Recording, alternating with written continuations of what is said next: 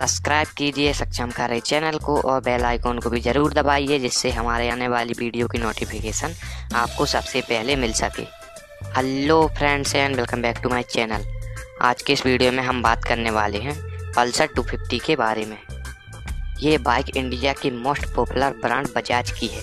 अगर बात आती है बजाज की तो बजाज के साथ एक और कंपनी का नाम जुड़ा हुआ, जो कि है के टी ने हाल ही में अपनी बाइक डक 250 को लॉन्च किया था।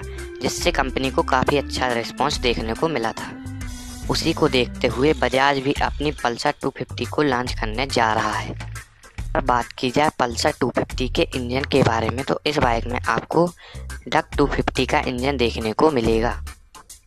जैसा कि आपको पता ही होगा कि के के जो इंजन है, वो काफ़ी रिलायबल और काफ़ी स्मूथ होते हैं।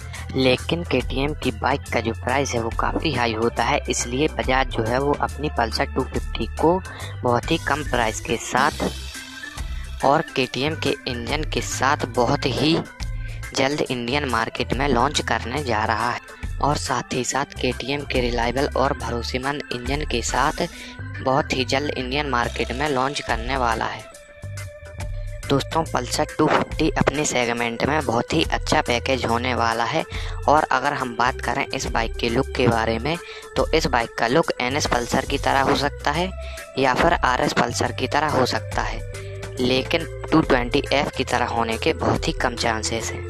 और अगर बात की जाए इस बाइक की प्राइस के बारे में तो इस बाइक की price one lakh twenty thousand ex showroom expect की जा रही है।